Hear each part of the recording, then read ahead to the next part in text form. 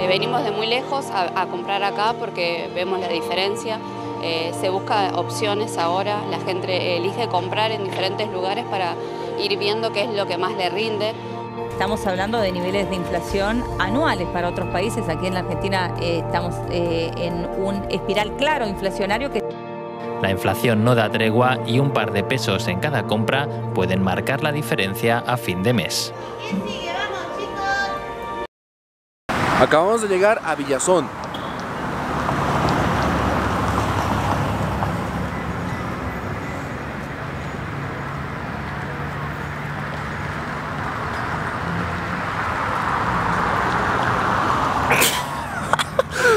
Creo que últimamente he estado siendo muy serio en los videos, pero claro, son videos de esa índole. Pero nunca está de más ponerle un poco de entretenimiento, un poco de chiste, como de costumbre. Pero bueno, les dije estoy en Villazón, una ciudad boliviana que tiene frontera con Argentina.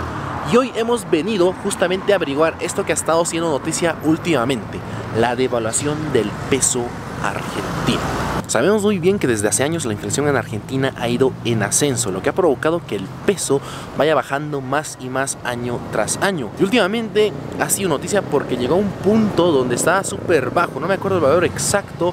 Y otra noticia impactante debido a la caída del peso argentino fue de que muchas ciudades del norte argentino que tienen frontera con Bolivia empezaron a ahorrar en pesos bolivianos debido a que la moneda argentina ya estaba por los suelos o porque es una moneda inestable que realmente no valdría la pena tener ahorros en ella.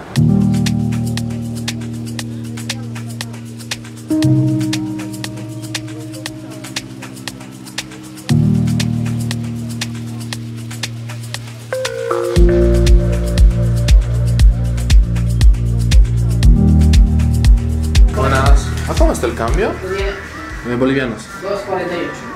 2.48. Estoy grabando este video en agosto de 2022 y como escucharon, el cambio de boliviano a peso está a 2.48. Eso significa que por 100 bolivianos que yo le dé me darán 4.030 pesos argentinos. Y es que al escuchar este dato me doy cuenta de que el peso argentino va bajando progresivamente día tras día, ya que había visto un video anterior de Federico Macay, quien vino hace un mes atrás, creo aproximadamente, y a él por 100 bolivianos le daban 3.000 o algo de 3.500 pesos y ahora está más de 4.000.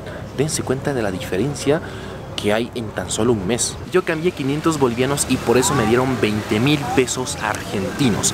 Acá tienen el ticket que me dio la casa de cambio, no sé si se puede ver bien, ahí está la conversión. Tienes la cantidad en bolivianos, por ejemplo 100 bolivianos y lo divides entre el valor que te está diciendo la casa de cambio. En este caso era 2,50 y lo que tienes que hacer es dividir ese 2,50 entre 100, lo que daría 0,025 y después pasas a dividir los 100 bolivianos entre 0,025, lo que en este ejemplo daría como resultado resultado 4 mil pesos argentinos. Es muy loco pensar que este billete de 100 bolivianos equivalga a 4 de estos billetes que serían 4 mil pesos argentinos. La diferencia es tremenda. Es que este billete incluso tiene dos ceros y este tiene tres ceros. Y o sea, se dan cuenta el nivel de inflación que está teniendo Argentina, cómo va cayendo el peso día tras día y no se sabe hasta cuándo seguirá esto o qué solución se pueda dar. Bueno, ahora sí toca ingresar a Argentina porque miren, yo tengo el pasaporte actualmente sellado como si estuviese en Perú. Eh, espero que la gente de allá no, no vea esto. y tengo que volver allá para hacer eh, legal la entrada a Bolivia. Pero bueno, ahora sí vamos a ingresar por donde es por donde hay una especie de río donde hay gente que te puede trasladar a través del río. Y también me olvidaba decirles, debido a que el peso estaba bajo, muchas personas desde hace tiempo aprovechaban a comprar productos argentinos ya sea de una manera formal o informal. Y de ahí nace ese dicho o ese nombramiento a las personas que se dedican al contrabando de las hormigas, porque literalmente iban como hormiguitas, pues llevando productos, trayendo, wow, era una locura. Este es el paso por donde tenemos que ingresar. Bueno, el río, mejor dicho, por donde tú cruzas, haces el tema de migraciones para ingresar legalmente Argentina o ya sea Bolivia. Eh, voy a procurar ir más tarde para ver cuáles son los requisitos para ir a Argentina porque en septiembre voy para allá. Y obviamente tengo que entrar de manera legal.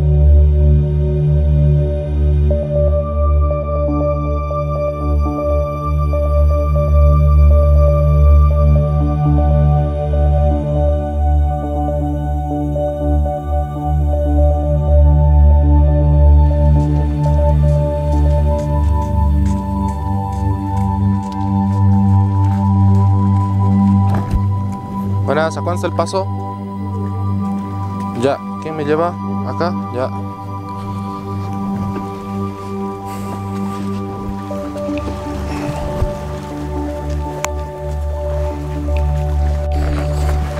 No es fácil trabajar de esto, mira, no es nada fácil llevar mucha verdura, huevo, también fruta.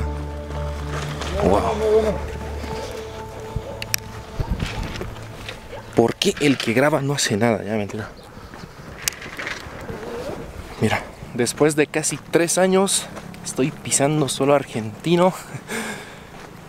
Y bueno, ahora sí vamos al sector de comercio donde vamos a ver cómo está el tema de los productos, cuánto valen, qué podemos comprar y demás. Viste que allá había personas que están trasladando sus cochecitos y no se me da el acento argentino, pero es el mismo lugar por donde yo crucé para ingresar acá. Son personas que por un boliviano te hacen cruzar el río de manera ilegal y también pues de seguro te están prestados a hacerte cruzar la mercadería que llegas a comprar en Argentina. Pero de momento acá no hay un control, ya sea de eh, carabineros, no, acá no son carabineros, ya sea de los gendarmes o militares bolivianos. Es un paso fronterizo muy, muy tranquilo, muy relajado. Dímelo a mí, que he pasado muchas veces ilegales a otros países, pero bueno. Bueno, es una pregunta. ¿A cómo vale la caja de manzana? Como no entiendo. Todo esto, ¿cuánto cuesta? ¿O cuánto lo compró? Eh, no, ni idea, nosotros hacemos bajar de la señora. Ah, ya, pero no tengo ni idea de cuánto vale esto. Eh, no, no sabría decir. Gracias. Ya estamos en La Quiaca, ciudad fronteriza de Argentina. Hay mucho, pero mucho boliviano quienes están pues comprando sus productos, abasteciéndose.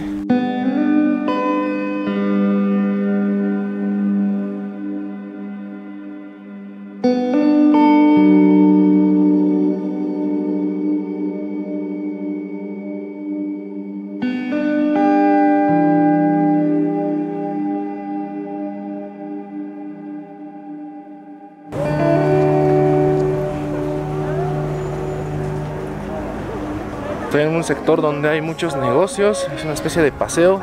Estaban vendiendo zapatillas, negocios de zapatillas, comida, pero también las personas que compran sus productos transitan este lugar. Es como que acá, donde sea, existe el tránsito de la compra de los productos. Mira, incluso acá están llevando arroz y no sé exactamente a dónde tengo que ir, pero bueno, vamos. Mil pesos argentinos por 30 unidades, sí, unidades. Chocolate Balchoc, 1800 pesos por 60 unidades. Un dato interesante es que en los almacenes las cosas están mucho más baratas. Acá creo que venden bebidas alcohólicas porque hay logos de W, Fernet, también hay arroces, harinas. Wow.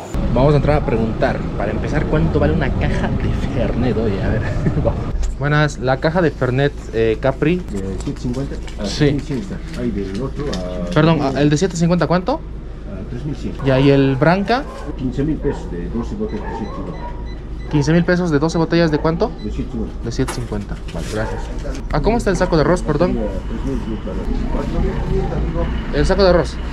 4500. Marcharon eso, 12 botellas de 750 ml de Fernet marca Branca cuesta a 15 mil pesos argentinos, lo que serían 375 bolivianos. Imagínense la diferencia. Allá en Bolivia, en los boliches, un Fernet de esos te vale 200 bolivianos. Creo que los combos hasta 250. Claro, se entiende el negocio, pero vean la diferencia de cómo puedes obtener uno versus muchos otros. Es increíble. Estamos en una calle donde hay muchos negocios de todo tipo de alimentos, de todo tipo de productos. Por ejemplo, acá, Casa Marcelo, comestibles en general. Am, no sé qué vendrán, pero mira, a se puede ver que hay eh, productos de limpieza y otras cosas. Oigan, es un poco complicado grabar acá porque ya una señora eh, se, se molestó, se sintió mal, creo, porque eh, pensó ya que estaba grabando su negocio así en plan, no, que aquí hacen esto, todo. Ya después otra señora me explicó de que había controles de la aduana y demás donde estaban regulando precios y tal de los negocios, pero la verdad yo no vengo a eso, solo vengo a documentar a pues ver cómo está el tema este de, de los productos que puedes comprar y demás. La señora pensó que yo era una persona de aduanas y demás, pero no. Este es otro sector donde hay muchos negocios donde venden galletas, champús, comida. El choripán que están vendiendo allá valía 400 pesos, que son unos 10 bolivianos. Estoy tratando de grabar de una manera más calmada porque siento que ya se corrió la voz de que hay un infiltrado o alguien que está grabando y ya hay gente que me está observando. En plan, oh, ¿qué está haciendo? Velo bien. ahí". No es la primera vez que estoy en un lugar así donde me siento observado y la gente está en plan que me va a golpear o a linchar. Esta cerveza vale 4.800, solo el empaque, el envase. He comprado 5 kilos de pistacho, los cuales valen 16 mil pesos argentinos. Oye, no me puso el precio, pero, pero sí, vale 16 mil pesos argentinos. Eh, en un rato voy a comprar algo más para que podamos comparar los precios y demás. Ahora toca almorzar y mira, me he pedido un sándwich de milanesa, vale 700 pesos argentinos. Esto en boliviano sería unos 12.50 exactamente. Fácilmente esto en Bolivia lo venden a unos 30, 40 bolivianos. Les soy sincero, está muy rico. Y obviamente la cantidad, el precio, y sobre todo la carne argentina, viejo, que... ¿A cómo dijo que sale la pizza? La pizza, dos porciones por 100, 250, cada uno 150. Ah, ya, dos porciones 250. Y cada una 150. 150 sería algo de 375 bolivianos, oye. Una porción a ese precio, barato, oye. Y obviamente debe estar rico con esto.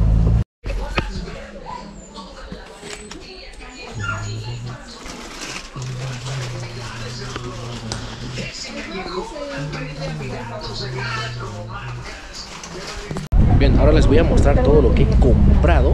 Vamos a hacer un review. Para empezar he comprado alimento para mis gatos. Toda esta bolsa de 10 kilos, ahí se puede ver, vale 4.300 pesos argentinos. Después tenemos estos alfajores de la marca Capricho que vale 670. Y estos rocklets que valen 2.000 pesos argentinos. Y finalmente los pistachos, que es una media caja vale 16.000 pesos argentinos. Ahora sí, lo siguiente es llevar todo esto a Bolivia, al lado boliviano. Mucha gente deja las cosas que ha comprado ahí bien ordenaditas, tapadito con alguna especie de mantita y después se va a comprar más cosas. No es la primera vez que lo he visto, estas son las mías. Eh, yo ya nomás tomo uno de estos autitos y luego nos vamos.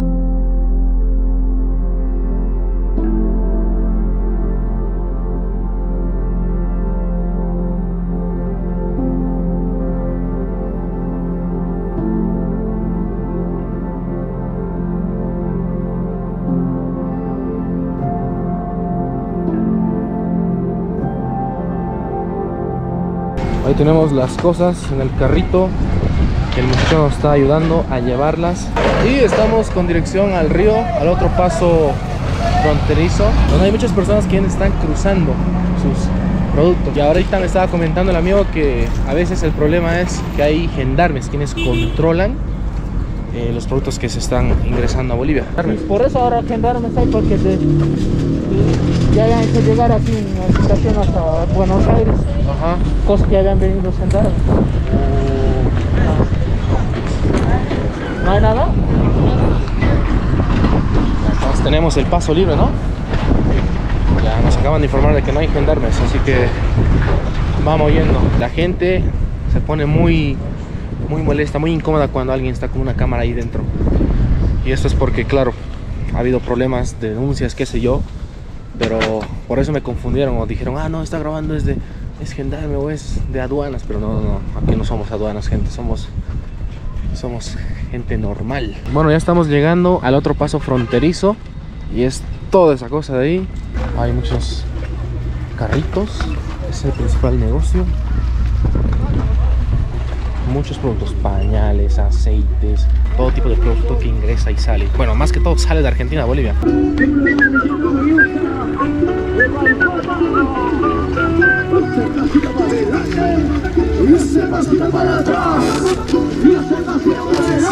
Bueno, ahora sí esperar un taxi o algo que nos pueda llevar. Pero miren, hay muchas personas que también están como yo, con sus productos esperando un transporte que les pueda llevar hacia una terminal o hacia sus casas. Hay de todo, en serio. Todos compran fideos, frutas, acá hay cerveza, ¿no? Es que este mundo informal del contrabando es increíble.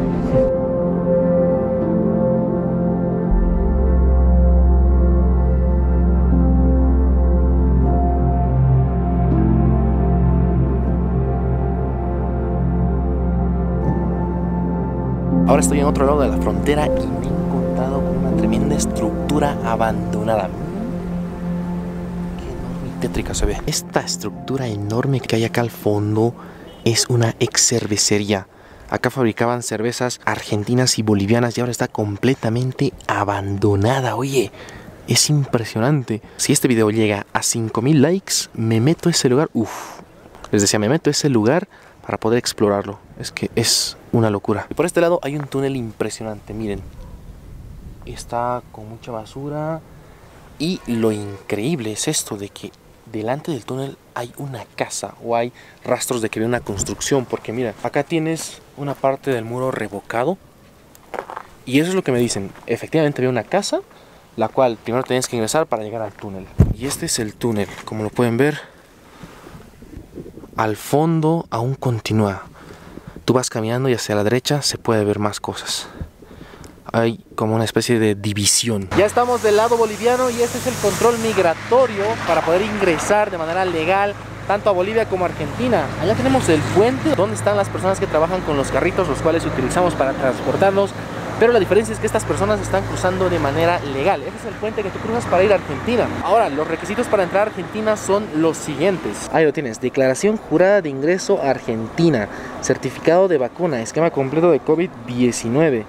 Después, seguro internacional, el cual lo venden acá y vale 100 bolivianos. Después, tu documento de identidad. Y por último, tienes que cancelar el pasabanda de salida de Bolivia que cuesta 19 bolivianos.